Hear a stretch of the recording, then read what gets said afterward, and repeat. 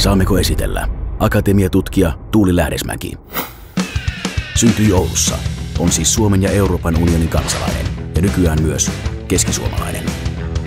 Kiinnostui jo opiskeluaikana taiteeseen ja kulttuuriin liittyvistä merkityskamppailuista. Valmistui Jyväskylän yliopistosta tieteenalanaan taidehistoria. Halusi ymmärtää, miten taidetta ja kulttuuria hyödynnetään ideologisten ja poliittisten päämäärien tavoittelussa. Aloitti työt Jyväskylän yliopistossa. Tunnetaan periksi antamattomana tutkijana, sitkeänä analysoijana ja rohkeana tulkitsijana. Tutkii kulttuuriperinnön käsitettä ja merkitystä identiteettien muodostamisessa. Tarkastelee erityisesti eurooppalaista kulttuuriperintöä, sen tuottamisen prosesseja ja politiikkaa äärimmäisen moninaisen aineiston avulla.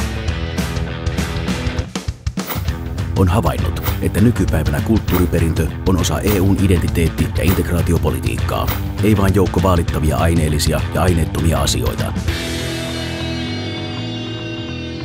Tietää, että kulttuuriperintö herättää runsaasti tunteita ja politisoituu herkästi.